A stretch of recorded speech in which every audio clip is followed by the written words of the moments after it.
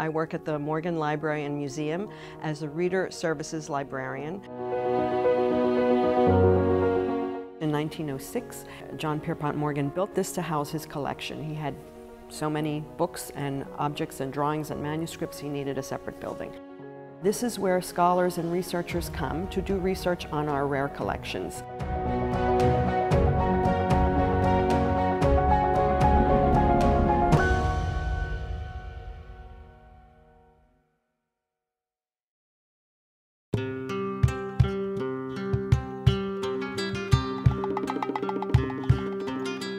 Kayseri is a very ancient city located in central Anatolia, now Turkey. It was first called Mazaka in ancient times. Then it was renamed Caesarea. Now it's called Kayseri.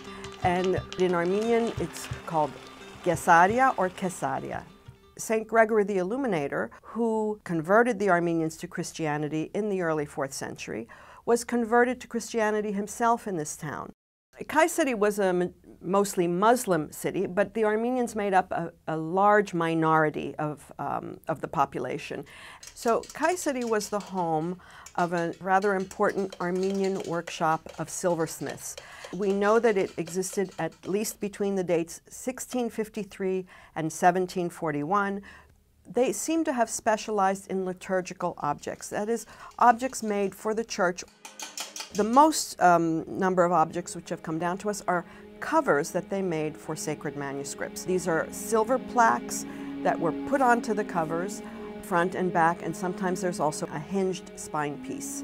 The silversmiths who made these objects, uh, we do know a little bit about them, not too much, but we know their names. And there are three family names that continue on for decades. So we have Malchas, Shabaz, and Shamir, or a variant of Shahamir. These names seem to have Eastern Armenian origins or Persian origins. So it's possible that these were Armenians who emigrated from Iran.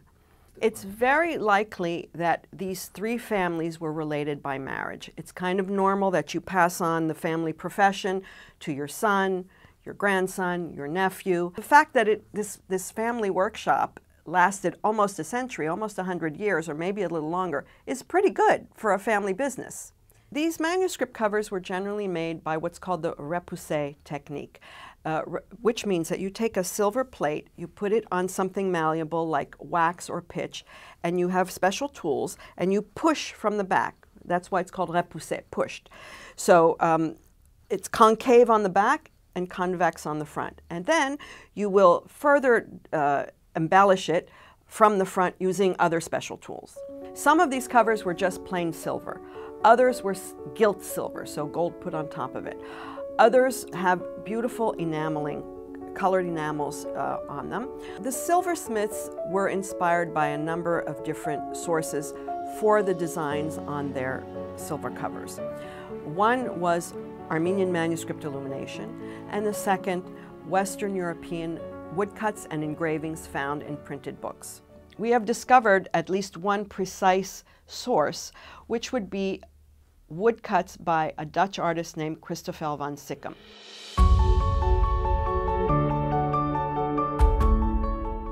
The Morgan Library and Museum is very lucky to have three of these uh, sets of silver covers. This is the earliest of the three Kayseri uh, silver covers that came into our collection. This is the back cover. The central scene consists of an angel in the sky with clouds and, and cherubs. We see a man sleeping here. Notice his little slippers by his bed. There are some other objects that are a little hard to figure out. This looks like it might be a pitcher. Here, there's something with a serrated edge I thought at first maybe it was a palm leaf, but I didn't understand why there was a palm leaf in a basket. But later, when we figured out where the inspiration came from this image, everything was made clear.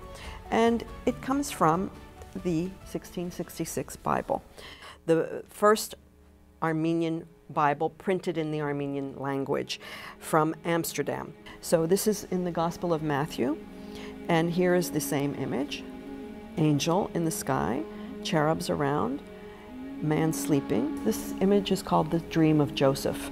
This is when Joseph is asleep and he's worried about marrying Mary. And an angel comes to him and says, Don't worry about it, it's okay. So then we understand what the objects are because he was a carpenter. So this serrated item is very likely some kind of a saw. And this is not at all a pitcher, but it, it has to be a plane used for shaving the wood that's sitting on a table. But when it was transferred to silver, it was a little difficult to make it understood. Besides the fact that these are beautiful objects, they are historically important. And the Morgan Library has always been interested in books, manuscripts, and beautiful bindings. So this fits in perfectly with the collection policy of the Morgan Library Museum.